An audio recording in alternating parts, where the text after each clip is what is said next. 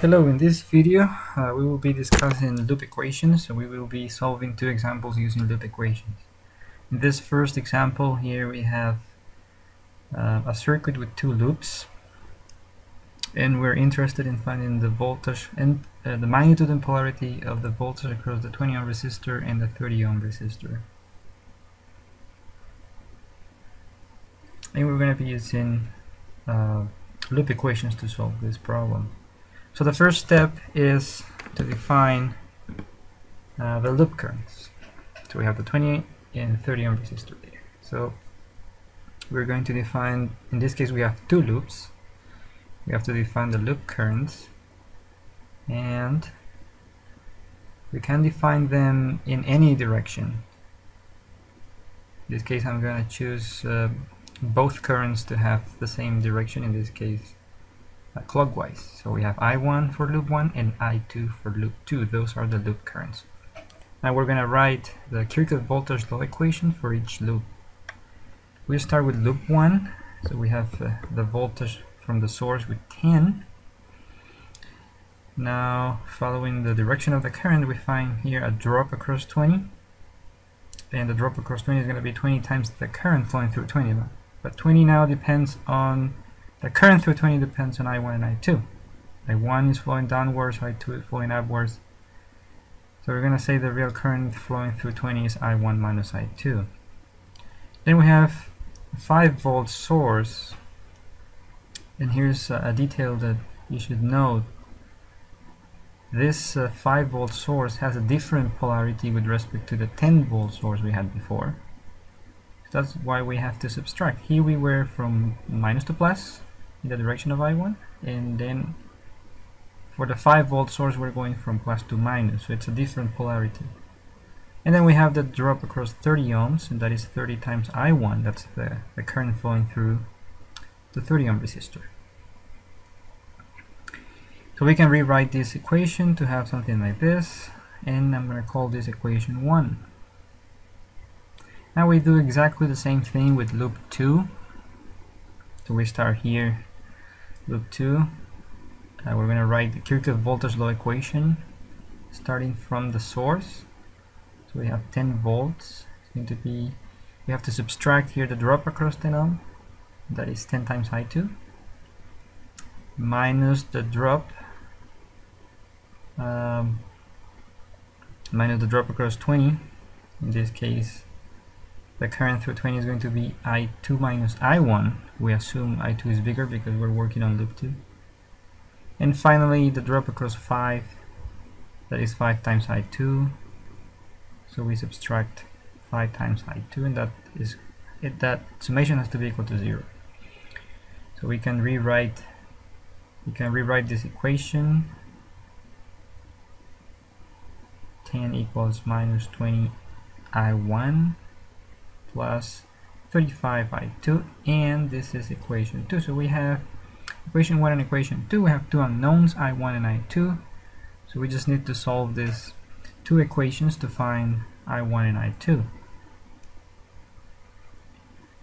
so solving 1 and 2 we get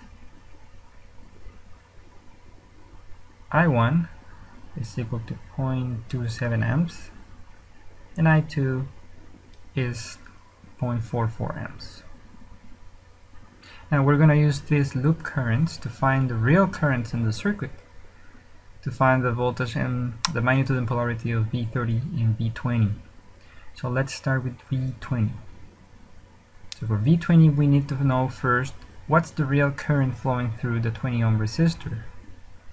Now the 20 ohm resistor belongs to loop 1 and loop 2 so the current depends on I1 and I2. In this case it could be I1 minus I2 or I2 minus I1.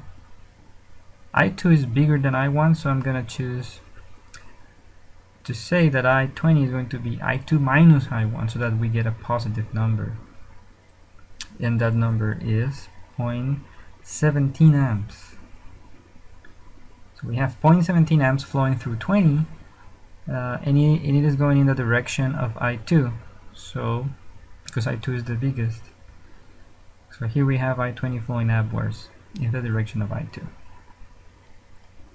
So now we can find the magnitude of the voltage across 20 ohm resistor. That is going to be 20 times the current. So 20 times 0.17 and that is 3.4 volts. That's the magnitude of the voltage.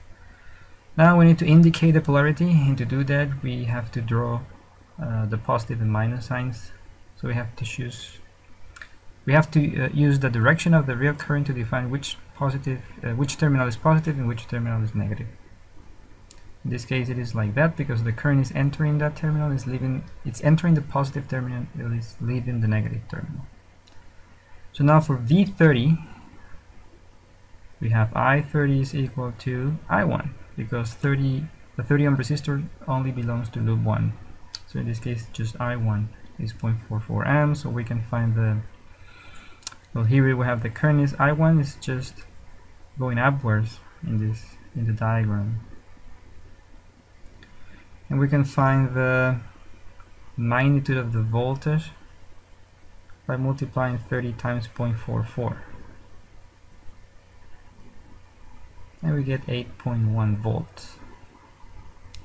Now we indicate the polarity of the voltage here. Every time we have a resistor, the positive terminal is the one where the current is entering the resistor and the negative terminal is the one where the current is uh, leaving the resistor is, is leaving the resistor. So we have there the positive and negative and those are the magnitudes and there we have the polarities of the voltages. In this second example, we're gonna use loop equations again. So now we have three loops, and we want to find magnitude and polarity of V30 and V40. So here, we have the 40 ohm resistor and the 30 ohm resistor. And we're gonna call this node A, and we're gonna draw our ground, this node over there, and we want to find the voltage in node A with respect to ground and we're going to be using uh, loop equations to find to find those values. Okay, so we want to find VA, it's the voltage in that point with respect to ground. Okay. Let's start with the uh, finding magnitude and polarity of V30 and V20. So we're going to use loop equations here. So we define the loop currents. So I1 there, I 2 here and I3 over there. So we have three loops. We're going to write three equations to get these three unknowns. So we start with loop 1. So we have basically one source and two resistors in loop 1. So we have 20 minus the first drop is 40. The current through 40 is I1 minus I3. Because I1 is flowing in the opposite direction than I3 and then we have the other drop across 30 and the current through 30 is I1 minus I2 then this has to be equal to 0 that's the Kirchhoff voltage law equation for loop 1 we can rewrite this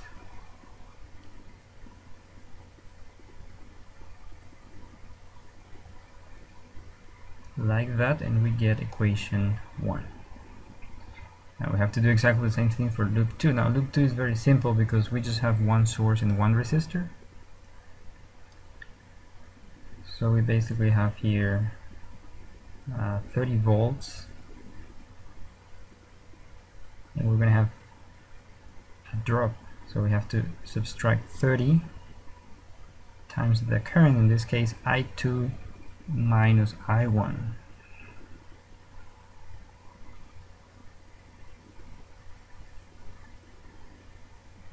equal to 0.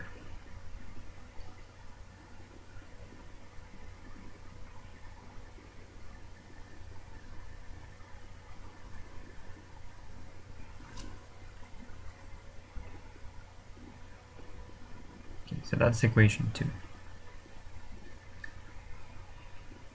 Then we can uh, we have to work with loop 3 now loop 3 we have no sources so we only have drops so the summation of all the drops is going to be 0 So in loop 3, what we have is a first drop across 2, and that is 2 times I3.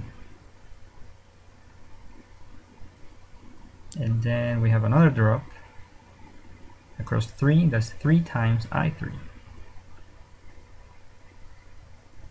And finally, uh, the third drop is across 40, and that's going to be 40 times I3 minus I1.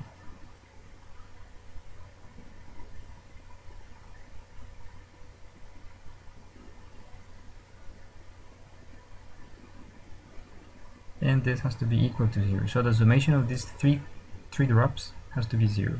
That's the third equation. We can rewrite this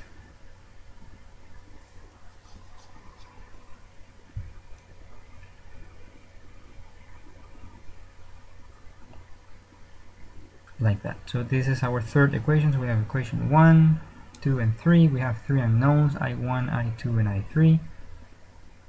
So we can we can find those three by solving the three equations. We get I1 is equal to 11 11.25 amps then I2 is equal to 12.25 amps and I3 is equal to 10 amps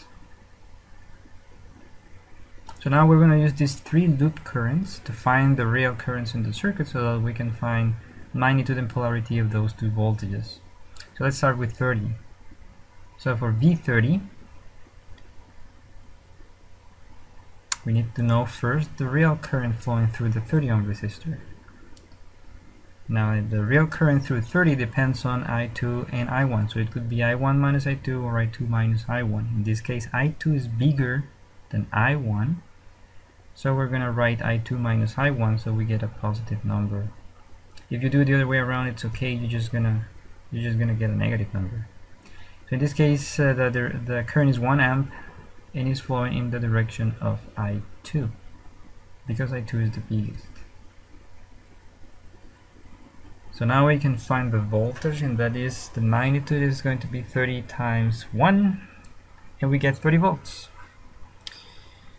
Which makes sense basically because we have the source and the resistor they're connected in parallel so the 30 volts from the source are being dropped across the 30 ohm resistor. So the current is going upwards so it's entering this terminal this is positive it's leaving the other terminal the other one is negative. That's the polarity of the voltage across the 30 ohm resistor so now we need to find V40 okay uh, the current through 40 is going to depend on I1 and I3 so for V40, we have here the current I40. So it's going to be I3 minus I1 or I1 minus I3. In this case, I1 is bigger than I3. So we can write I40 is equal to I1 minus I3 and that is 1.25 amps in the direction of I1 because I1 is the biggest. So the current flowing here is in this direction and this is I40. That's the real current. And now we can find the magnitude of the voltage by multiplying 40 times I40 and that is 50 volts. So we have 50 volts across the 40 ohm resistor and this is the polarity. The current is flowing that way so it's entering that terminal. That's the positive terminal. It's leaving the other one so the other one is the negative terminal. That's the convention for resistors. Now we want to find the voltage VA with respect to ground. So to do that uh, we have to choose a path between ground and node A for example that one. Or we can just go from ground to that node subtract 30 and then from that that node to node A. And so we have the drop across 3 or we can just go from here to there then to this node and then finally get A. So we have to choose a path and then add or subtract the corresponding voltages across along that path so let's start with this one let's say we choose this path So from ground to that node, we have 20 volts. And then from that node to node A, we have the drop across 2. So we can we can write the value of VA in, in this way. So let's say we have here VA is going to be going from ground to that node. We have the source in between. That's 20 volts. And then from that node to node A, we have the voltage across two, but we need to know whether we have to add or subtract that voltage. So this is what we do. Here we went from minus to plus and we said that was positive 20 volts. But we have to define what is the polarity of the volts across the 2 ohm resistor. So that we know whether we have to add or subtract. So we have the current is going in that direction, is entering the terminal and is leaving the other one. Here. We have the source. That was positive because we went from minus to plus. But then the voltage across the 2 ohm resistor has opposite polarity so that's why we have to subtract. So we have 20 minus the voltage across the 2 ohm resistor and that is 2 times i3 i3 is 10 so the voltage across the 2 ohm resistor is 20 volts. 20 minus 20 we get 0 volts. Now we can we can choose a different path and we should get the same result. So let's say we want to find VA but we're gonna follow a different path from ground to node A.